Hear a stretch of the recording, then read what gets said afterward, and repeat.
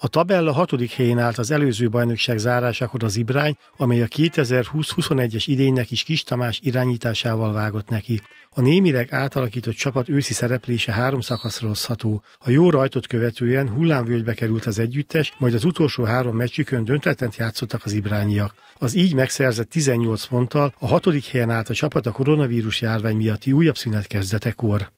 A bajnokságot azt jól kezdtük, öt mérkőzésből négyet nyertünk, úgyhogy egy átalakult csapatunk lett, tele fiatalokkal, ismét két-három helyit úgy gondolom, hogy be tudtunk építeni, ezek, ezek fontos szempontok voltak. Nyilván a célkitűzéseink az elmúlt évekhez képest kicsit változtak, és eddig azért mindig a dobogóért küzdöttünk, most azért tudtuk, hogy a keretünk azért átalakult, úgyhogy az élmezőhöz mindenféleképpen tartozni szerettünk volna. Én úgy gondolom, hogy nagyjából ha a mutatott játékot nézzük, a 12 forduló alapján, akkor úgy érzem, hogy picit előrébb is végezhettünk volna. Ha nagyjából a realitást, akkor, akkor viszont a csapat, ha keretét nézzük, akkor a realitás a 3-6-3-7 közé tudom sorolni a, a csapatot.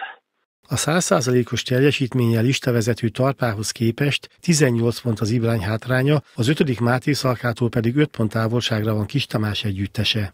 Tarp az mindenféleképpen kiemelkedik, nem mondom, hogy százszázalékosan, de biztos vagyok benne, hogy meg fogja nyerni a bajnokságot, hisz rendkívül komoly munka folyik, feltételek adottak, jó játékos állományjal rendelkeznek. Utána viszont van a jelen pillanatban Vásáros Namény a második, ugye Nagy Ecsed a harmadik, akik azt hiszem, hogy 6 meg 7 pontra vannak tőlünk. Nyilván 18 forduló az, az sok minden befolyásol majd. Ugye itt az lesz majd a kérdés ki, milyen könnyen tud alkalmazkodni például az, hogy január 30-án már kezdődik a tavaszi szezon, illetve a, a sérülések mennyire kerülik el a csapatokat. Nyilván a célkitűzésünk tavaszra az mindenféleképpen az lesz, hogy minél inkább szeretnénk még feljebb zárkózni a tabellán.